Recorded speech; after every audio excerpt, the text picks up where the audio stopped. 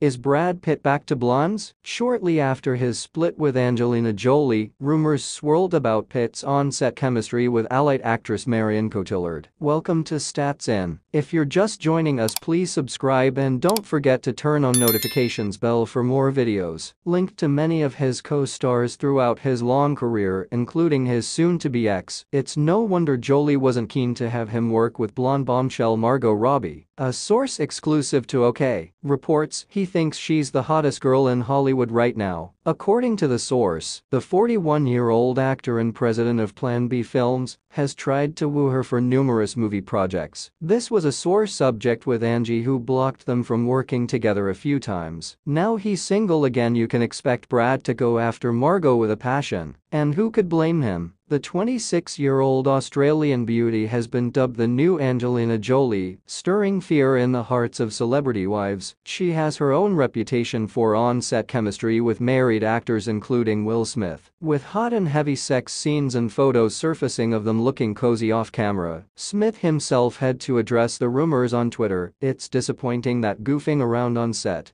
could be taken so out of context. Pitt, whose split from Jolie was announced in September, appeared in good spirits while promoting his new movie, Allied. Could he be ready to move on with a new leading lady? The Wolf of Wall Street star is totally his type and he has zero plans to stay single. Pitt, who was engaged to Seven co-star Gwyneth Paltrow and married to light-haired beauty Jennifer Aniston, may not be able to fight it. Robbie met her current boyfriend film director Tom Ackerley while filming the movie Suite Française. The couple has been together now for three years, but, according to the source, the fact she's dating someone else won't bother him at all.